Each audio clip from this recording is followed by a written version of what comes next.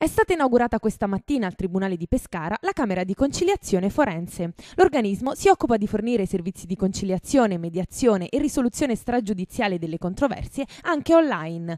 Tra le funzioni anche l'organizzazione di corsi di formazione, attività di studio e promozione culturale. Il presidente dell'Ordine degli Avvocati di Pescara, Lucio De Benedictis, ha spiegato che il tentativo di conciliazione è obbligatorio per una serie di materie e che tra un anno entrerà in vigore anche per la responsabilità da circolazione stradale e in materia condominiale. De Benedictis ha sottolineato che la posizione dell'avvocatura rispetto alla conciliazione non è di assoluto contrasto, tuttavia ci sono alcuni aspetti negativi di, questa, di questo provvedimento legislativo eh, che sono stati evidenziati dall'Avvocatura. Uno è questo, questa eccessiva privatizzazione della giustizia. Le Camere di conciliazione non sono necessariamente eh, istituite da enti pubblici ma anche da società private e eh, in alcune zone del, della nazione ci possono essere anche infiltrazioni in queste, nei capitali di queste eh, società e quindi ci può essere una mancanza di indipendenza di chi svolge invece un servizio che è importante ai fini poi della definizione delle controversie. Ulteriore elemento negativo è rappresentato dalla mancata previsione dell'obbligatorietà dell'assistenza tecnica